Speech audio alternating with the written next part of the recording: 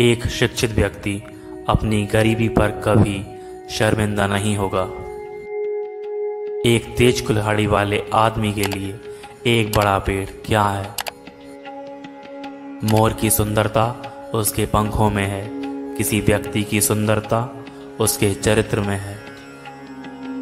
जीव एक तेज चाकू की तरह है। ये किसी व्यक्ति का गला काट सकती है। एक आदमी जो अपनी बात नहीं रखता, वो बिना आवाज़ के ढोल की तरह है। एक अच्छा दिल हमेशा दीपक की तरह चमकता रहेगा।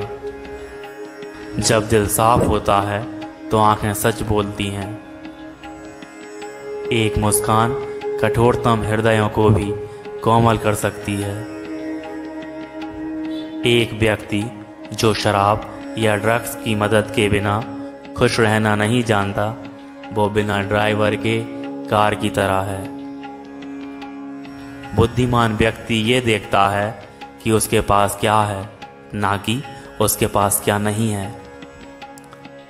लेने वाले हाथ से देने वाला हाथ अधिक धन्य है।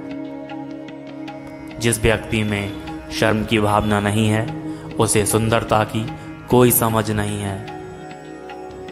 सबसे मीठा फल भी पकने पर ज़मीन पर गिर जाता है। सबसे ऊँची उड़ान भरने वाला पक्षी वही है जो अकेले उड़ता है। सो झूठे दोस्तों से एक सच्चा दोस्त होना बेहतर है। एक आकुशल कारीगर हमेशा अपने उपकरणों को दोष देता है। जब परिवर्तन की हवा चलती है तो कुछ दीवारें बनाते हैं, जबकि अन्य पवन चक्की बनाते हैं। एक पेड़ जो समृद्ध मिट्टी में उगता है, वो अपनी ताकत नहीं जानता। एक कुत्ता जो बहुत ज़्यादा भोंकता है, उस पर ध्यान नहीं दिया जाता। एक छोटी सी चीटी भी पहाड़ को हिला सकती है, अगर वो चढ़ती रहे।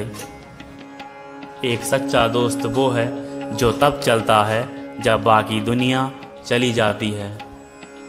बुद्धिमान व्यक्ति हमेशा सीखता रहता है। मूर्ख व्यक्ति सोचता है कि वो सब कुछ जानता है। यदि आप एक घंटे के लिए सुख चाहते हैं तो एक झपकी लें। यदि आप जीवन भर के लिए सुख चाहते हैं तो किसी की मदद करें।